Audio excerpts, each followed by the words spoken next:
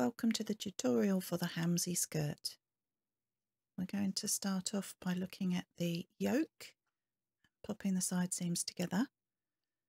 So you'll notice there's a back yoke that's on the fold, a left yoke and a front right yoke as it's an asymmetric design. So the left front is shorter than the right front and you'll see it's a grown on button stand so I've folded mine back five centimetres and pressed it. I've also popped some interfacing inside there. I use a very light one because it's a nice fine cotton lawn that I'm using here. So there's the back that's on the fold. Open that out. And if you lay your left front onto the left side like I have with the back panel right sides up towards you, you'll get them the right way round. Not that it really matters in that it's your skirt, you decide. There you go, you can see I put interfacing on the button stand for the right front as well. Place those neatly together, give them a pin. I'm going to stitch that with the one centimetre seam allowance. My seam allowances are always one centimetre unless say, they say otherwise. Just with a straight stitch those together. There we go. That's my seam. I'm going to overlock it or you can zigzag or overcast if you have that on your machine. I've just done them together again because it's a cotton lawn. It's very light and I shall press those towards the centre back. Just lay those out so that you can see how it's supposed to be. So there we go, I've pressed those seams towards the back. And now I'm just going to do a little bit of overlocking or finishing the edge on my button stand so that it's neatened up. I don't want to fold mine under because I don't like any extra bulk around my tummy. So that will be nice and flat. I've done that both sides. There we go. Okay, so now let's start on the waistband. Now to need two waistbands, one that's a mirror image of the other. So it's cut two and one of them is interfaced. This is my centre back, that's the top waistband, so there's no interfacing on that. That's my under waistband, that has the interfacing on it. So you can see there's a pair there. And this is my right front, Again, there's one without and one with. And that is also a pair. Let's check this one as well. Left front. That's it, one pair, one with, one without. Perfect. So we'll put together the outer waistband first. That's my back piece. Lay that out obviously my right front is the longer of the other two pieces. So let me get myself orientated. Right, so we're going to have your back piece right side up towards you and the right front goes on the right side like so. Pop a pin in it before I get confused again. And the left front goes on the left side like that. So let's just double check that that works out. Yes, that's perfect. So I'm going to stitch those side seams up again one centimetre from the edge. Here we go, back tack, off we go. Great, so that's one outer waistband together. I'm going to press these seams open Again, it just reduces any bulk. Even though it's very fine fabric, it's nice to have it floaty light across your tummy. There we go, all pressed. So that's your outer waistband. So now for the under waistband, the bits that have the interfacing on. And this, it's done in the same way, but it's the opposite. It's a mirror image. So you want that long piece on the left and the short piece on the right this time. Pin them, stitch them one centimetre.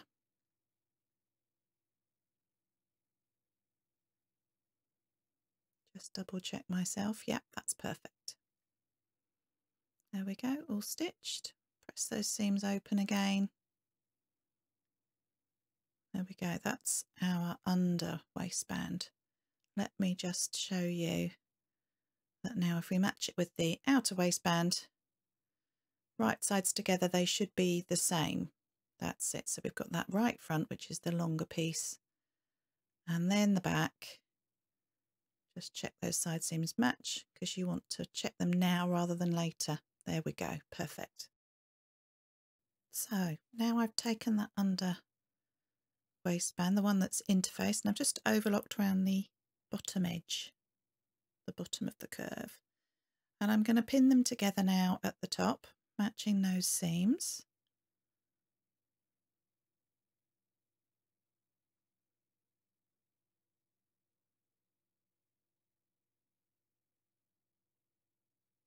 Match those up nicely, pop a pin in.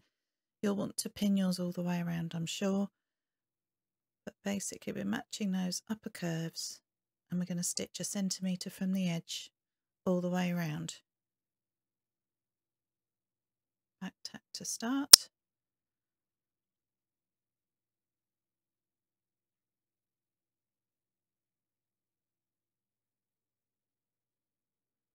There we go.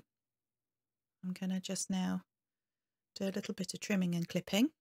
I like to cut the corners off my seam allowances and then I'm going to snip in towards the stitching just up towards it careful not to cut through. I've done it every sort of centimetre and a half two centimetres.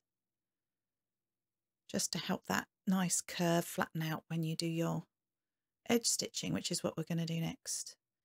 Now you want to push all that seam allowance towards your interfaced waistband. Give that a press, make sure it's all nice and flat before you start and then stitch right on the edge there, about a millimetre away. I'm starting a centimetre back from the end because I'm going to bag out my corners in a little while and it will just be easier to do that if you haven't started your edge stitching right at the edge. There you go, just make sure that that seam allowance is all towards the interfaced waistband and go all the way. Stop at a centimetre before the end. There we are, look.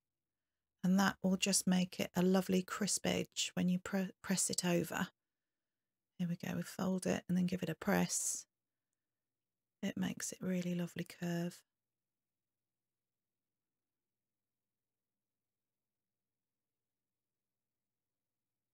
And there it is pressed. Looking very neat and crisp at the edge.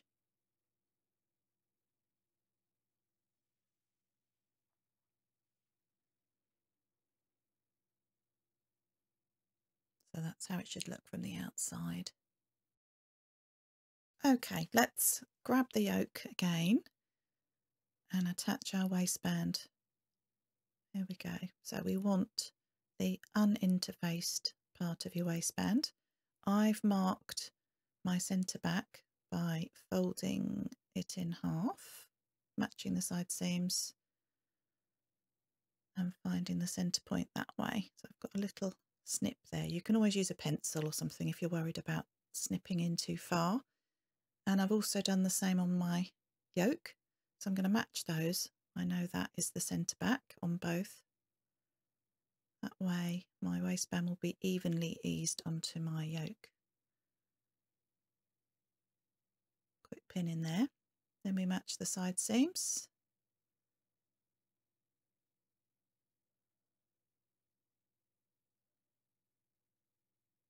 Those together.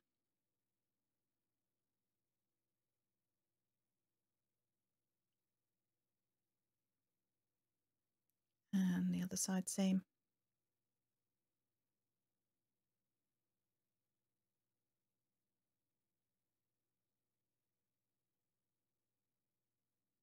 Now we move towards the opening.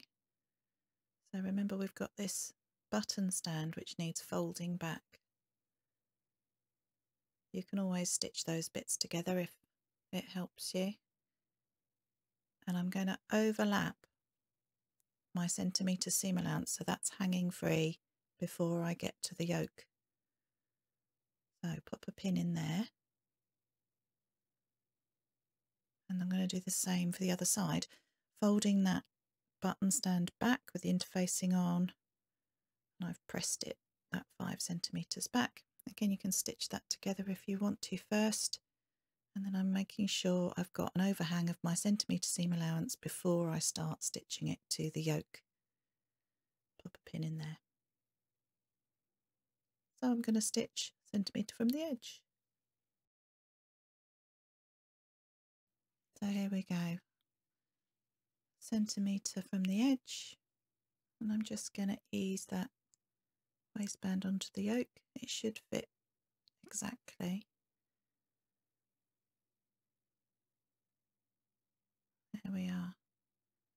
All stitched on. Take those pins out. Let's have a look. There we go, that's all eased on nicely. And what you need to do next is to press that with the seam allowance up towards the waist. There we go. Giving that a quick press. It's all smooth.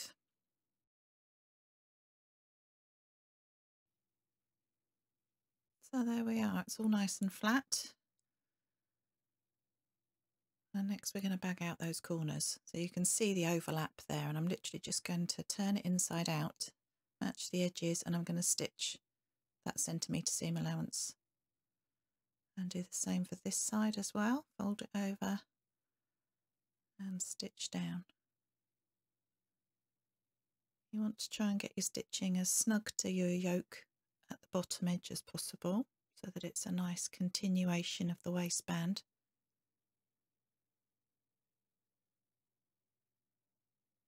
There we go, you can see what I mean there, it sort of continues down. Clip that corner and trim away a little bit of the excess. Again, it's not terribly bulky this fabric, but it just means a little bit less bulk over your tum fold that through, give it a little poke through, and that should look like a nice continuous edge. All nice and flat at the back as well. We're going to stitch in that ditch in a minute. I'm just going to turn this one through as well.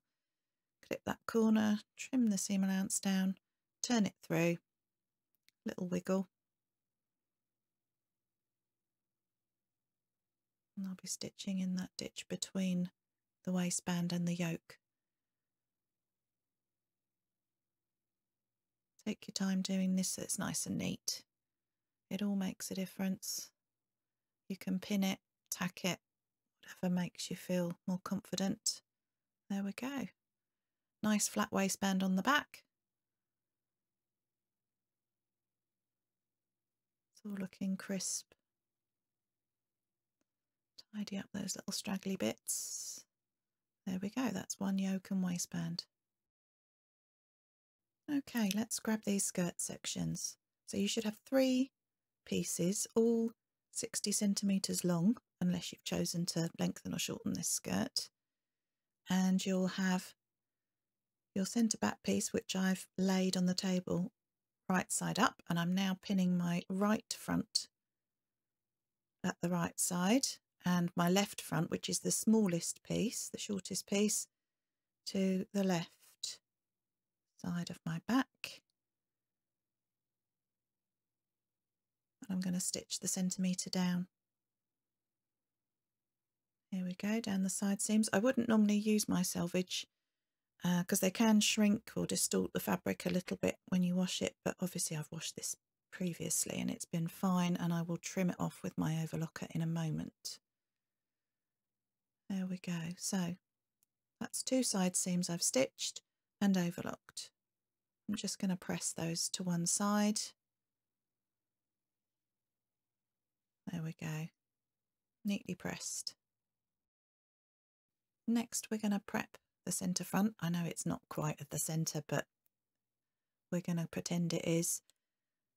There's the interfacing, five centimetres. That's my button stand. So it's the fronts of my fabric on the left side and the right side. I've done the same there. Five centimetres wide and for the length of the skirt. And I've overlocked the edge to neaten it. Next you want to fold it back and give it a press.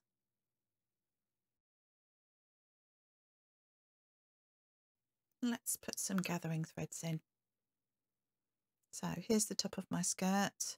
My fabric is directional, so to avoid me gathering the wrong edge, I've already overlocked the hem just so that I know I'm doing the correct part. Here we go. I'm going to undo that and I'm going to start my gathering away from the interfacing because that's going to be tucked on the inside. We don't want that gathered. It's just the top. So I'm stitching my first row of stitches. I'm using number five stitch on my machine. That's quite a nice length for gathering and I'm doing it a centimetre from the edge. I'm also stopping when I get to the side seams, just coming off and going on again so that I have a break in my gathers because sometimes if the gathering threads get very long, they can break and I don't want that. So that's my first row. I will do the second row halfway between the raw edge and my first row of stitching. There we go. That's the gather threads in. Okay, so let's get this gathered. That's my skirt, that's my yoke. Get it the right way around. So I'm going to open up this button stand and match those overlocked edges together.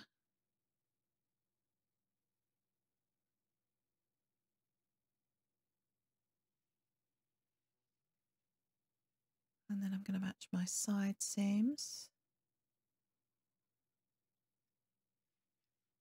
Pin those together.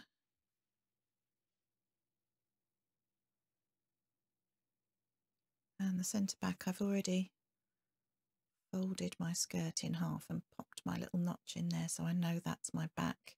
And I'm going to do the same for the yoke now. Match those side seams together, fold it in half, and I'm just going to pop a little snip there so I know that's my centre back. Again, you can use your pencil or a safety pin. There we go, that's matched together.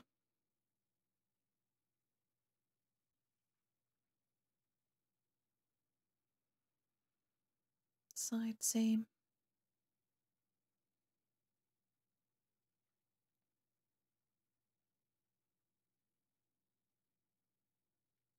and the other front. There we go. Position those together.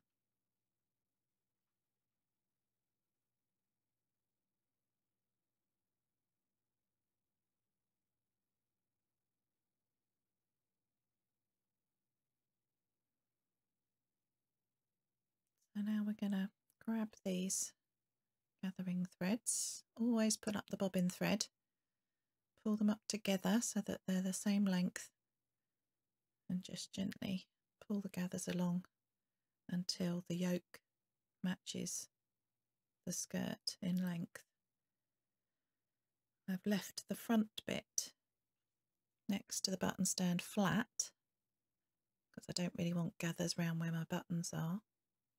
So I've left sort of two or three centimetres of it flat. The rest of it's all gathered and I'm just kind of teasing them along to try and make them as even as possible. There we go, let's pick these ones out as well. You can always use a buttonhole thread or something that's a bit thicker in your bobbin when you're doing gathering threads if you're worried about them breaking or snapping. Be super careful past that centre back pin for the back panel.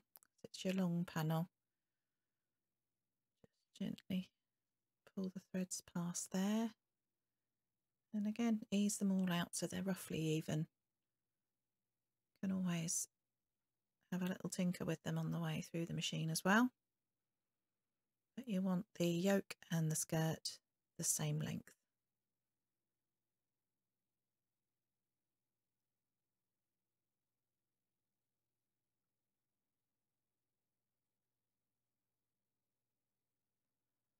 Okay, pop in the last couple of pins in now.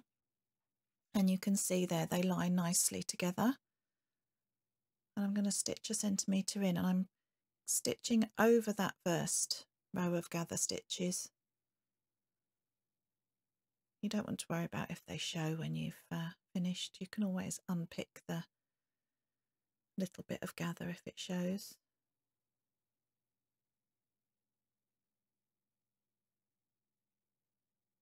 Take all those pins out and I'm going to overlock that together so that it's nice and neat.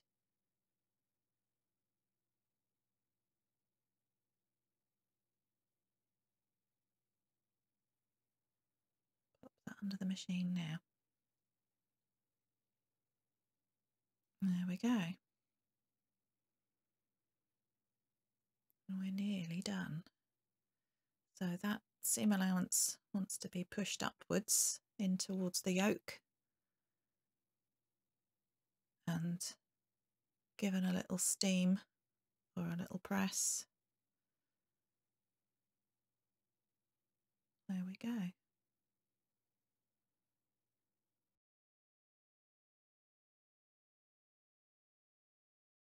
So now we're going to do the hem.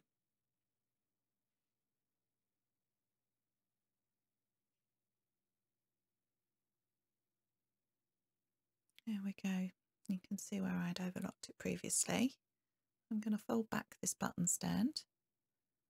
And I'm just going to bag these corners out. So I'm just going to stitch along the interfaced bit a centimetre up from the overlocking. I'm going to do that both sides just to bag out that little corner. Makes it look so much nicer and neater. There we go. You can see I've literally just stitched straight across. I'm just going to clip that corner off and trim the interfaced part down a little bit. Poke it through, give it a wiggle. You can see that looks nice and then I want to press up my seam allowance that centimetre so that it sort of flows on nicely. It just looks like a continuous edge. Let's clip this other side. Clip in the corner, trimming off a little bit of the seam allowance, turning it through, give it a little wiggle. Make sure that seam is right on the edge and you give it a little press and press that seam allowance up. I'm just going to stitch that now I've pressed it and I'm starting at the edge of the button stand rather than going right across.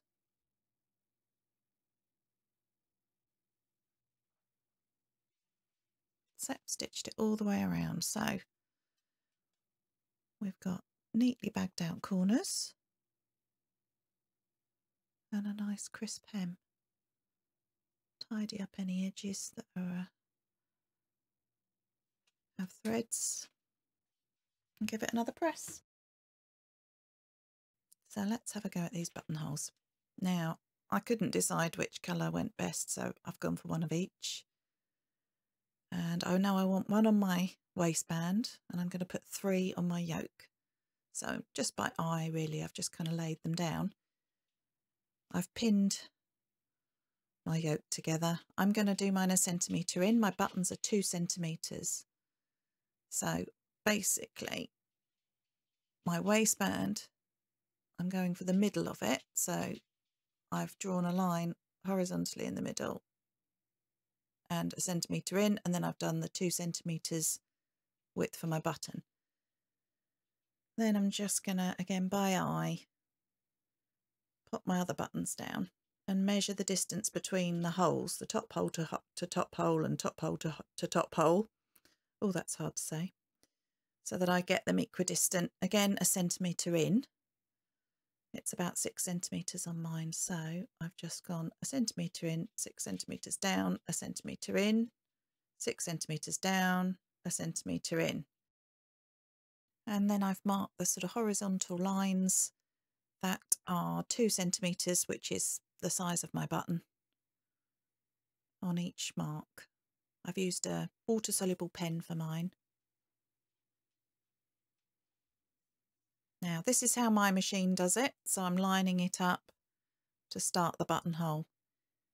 You'll have to consult your manual for how your machine does a buttonhole and always practice. I had practiced, I promise, before I'd done this. Always, always, always.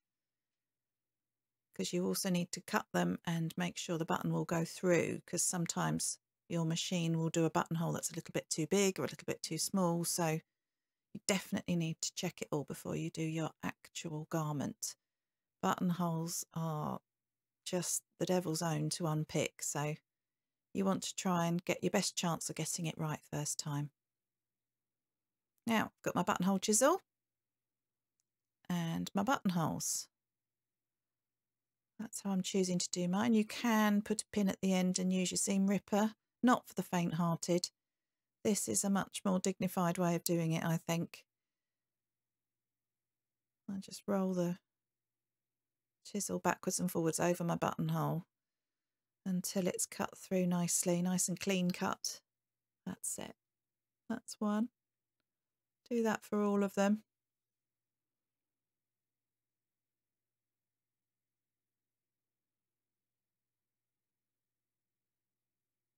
You can do more buttons all the way down the skirt if you choose to. I thought I might, if it's a bit saucy and a bit high opening, I'll probably pop a couple of poppers on mine. But I quite like the idea of it being open and a bit floaty for summer trimming away those again you may need to um, stitch those in if your machine doesn't do a little automatic stitch in like mine does don't want them unraveling so I'm matching up I have attempted to match my pattern on my yoke so I'm just going to pin those together where they need to be when it's done up. And then I'm going to mark where my buttons need to go. So, nice and flat. I've got my water soluble marker again. I'm going to pop it in the hole, wiggle it about, and that should mark where exactly where my button needs to be stitched on. Show you that a bit closer. There we go, right at the end of the open buttonhole. Nice big dollop there of blue so that I know that's where I need to start stitching my buttons on.